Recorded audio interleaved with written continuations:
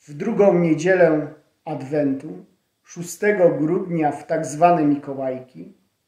Witam Was, drodzy, którzy zdecydowaliście się włączyć nasz codziennik biblijny.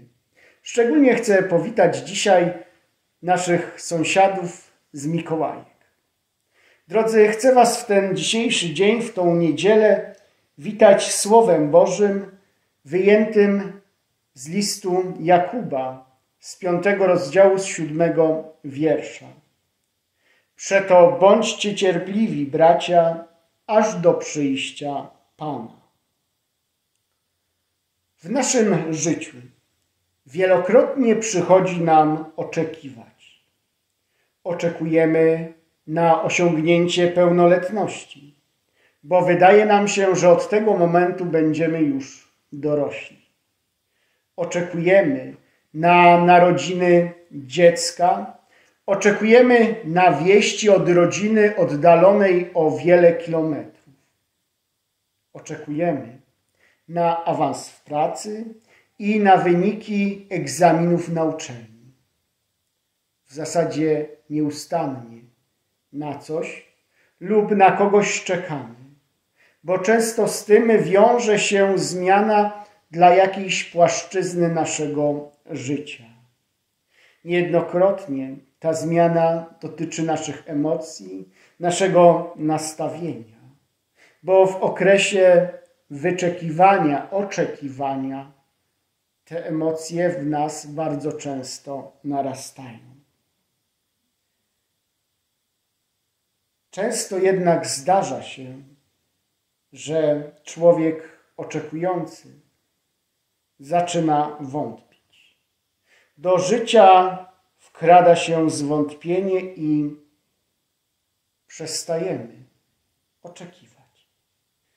Wolimy to, co pewne, co dzieje się rzeczywiście, a oczekiwanie niestety niesie zawsze z sobą jakąś mniejszą lub większą niepewność.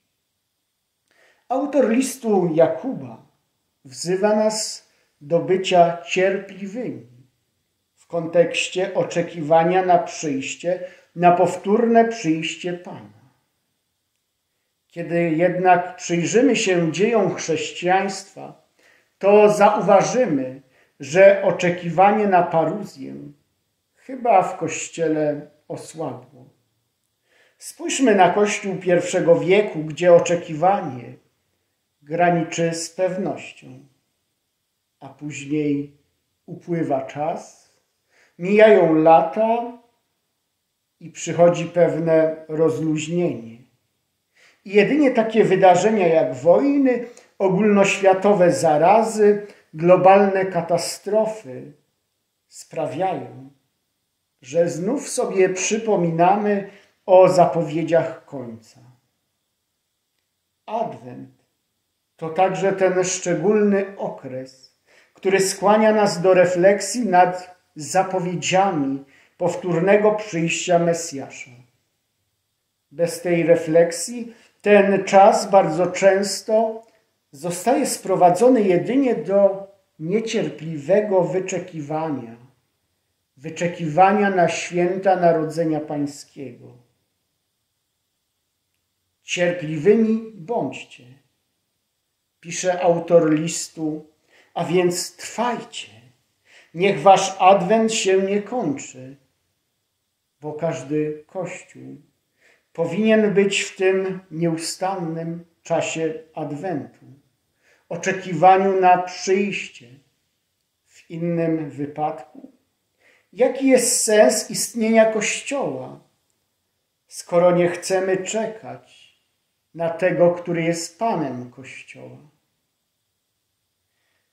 Niech tegoroczny Adwent nie jest skoncentrowany wokół zawołania Maran Ata, nasz Pan przyszedł, ale niech w Kościele oczekującym brzmi radosne zaproszenie Maranata, przyjdź Panie, przyjdź Panie Jezu. Amen.